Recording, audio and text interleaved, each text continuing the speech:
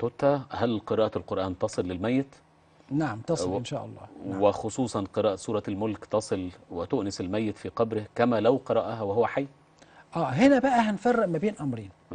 بين قيام الشخص بنفس العبادة وهبة ثواب العبادة بعد وفاته مم.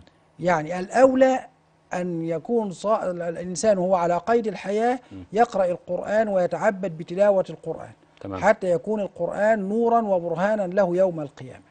تمام؟ تمام. طيب. ولكن هل يجوز إذا كان مقصرا في تلاوة القرآن أو أنه بعد وفاته من كثرة حبنا وشفقتنا عليه بعد وفاته أن نقرأ القرآن ونهب ثوابه له؟ ما فيش مانع. بعد وفاته نقرأ له القرآن ونهب ثوابنا آه، له إن شاء الله. ما في مانع. تمام. طيب.